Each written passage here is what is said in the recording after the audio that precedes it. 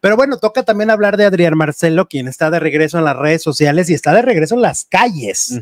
Él ya está grabando el contenido, las secciones para su programa que tiene, que se llama Radar, este canal de YouTube, en donde él va eh, los... Em, hace concursos de, si, si, haces esto, si te fumas un cigarrito de esto, yo te doy un premio, yo te doy dinero, ¿no? Ajá. Eso es lo que está haciendo. Ya hay imágenes de eso que estoy hablando yo en las calles, ¿no? Él ya está trabajando normal, pero Marifer Centeno, que se dedica a analizar la comunicación no verbal, ¿no? Este, amiguísima de Mr. Doctor. Ajá. ¿Cuál? Íntima. Marifer, eh. y entonces Adrián está en esos videos y Marifer Centeno lo que dice es que hay una gran inseguridad. Eso es lo que transmite con su gesticulación, con sus movimientos, al momento de ir caminando por las calles.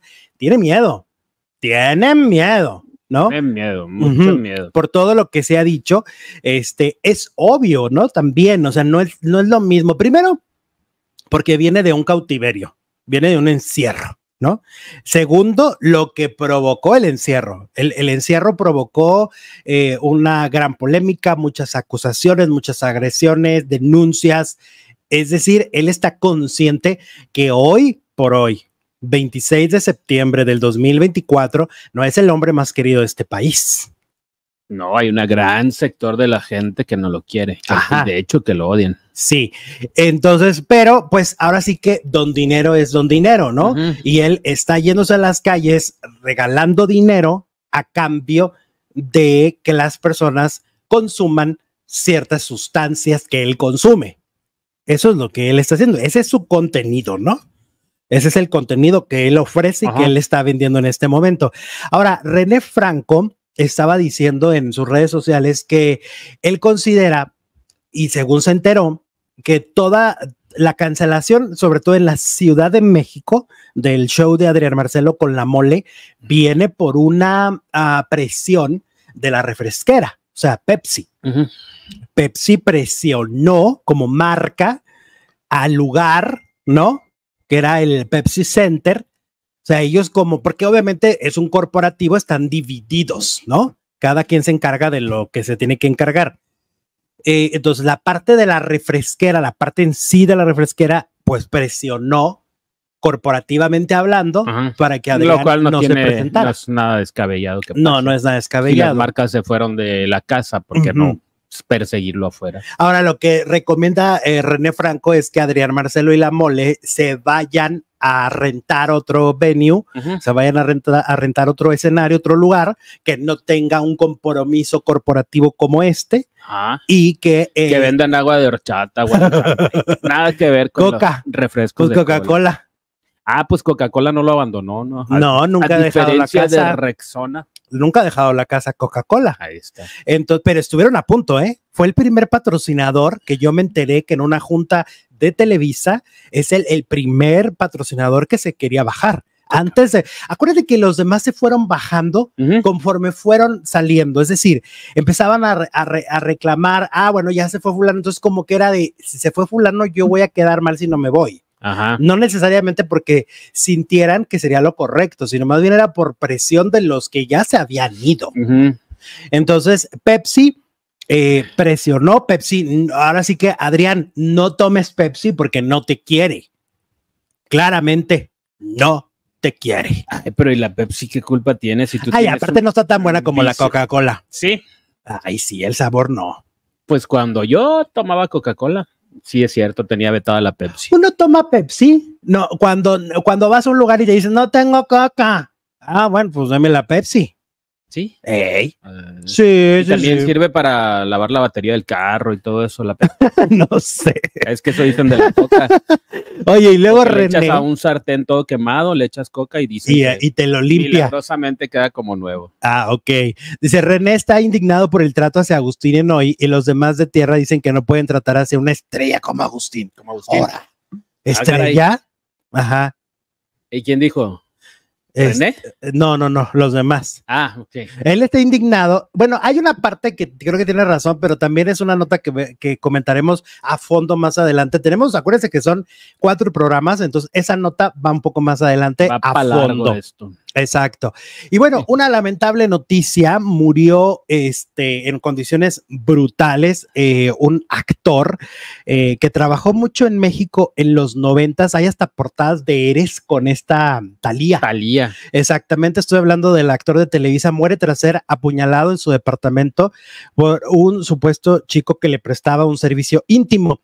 El famoso hizo varias telenovelas en los años 90, posteriormente regresó a Estados Unidos, su país natal. Estamos hablando de Eduardo Sol, Sol, Sol, Sol, Sol, ¿cómo se pronunciará? Quien participó en la telenovela Acapulco, Cuerpo y Alma.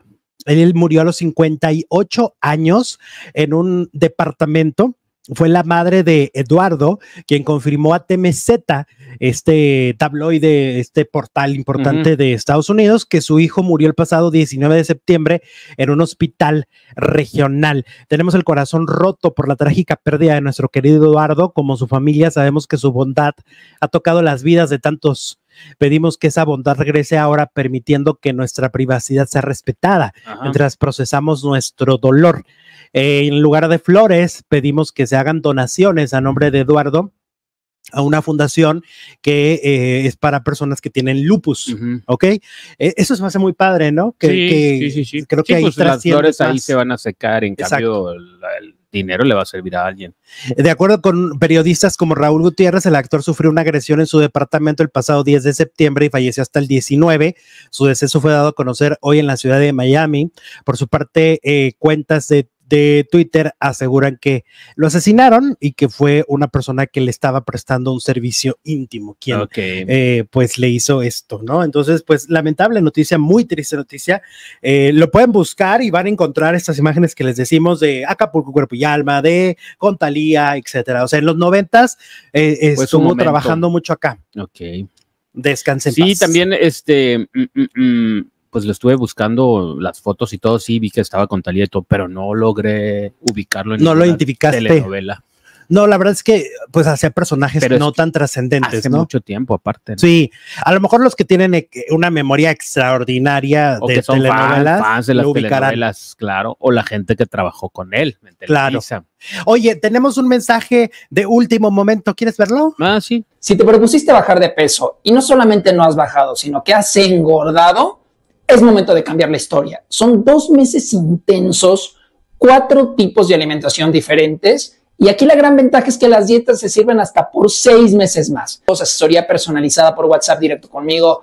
Ponte en forma, vete bien, luce bien y sobre todo que estemos sanos. Atrévete a ser sano, atrévete a hacer el reto Adiós Lonja Mix. Cuatro tipos de dieta, ocho semanas. Mándame WhatsApp, mándame WhatsApp, mándame WhatsApp ahora mismo. Ahí está el WhatsApp de Loyuki de la Nutrición 55 51 03 87 21 y es el último reto del año, es la oportunidad que tienen nuestros faldilludos para llegar y humillar a la gente en diciembre. ¿Y por qué quieres que humillen a la gente en lugar de...? Porque esto es como en tono telenovela. No, con humillar, no. Eh, ustedes van a llegar, van a partir plaza, van a, malmirar a la, a la, familia, así de, mm, mm, toma mi champú. Huele mi champú. Ándale.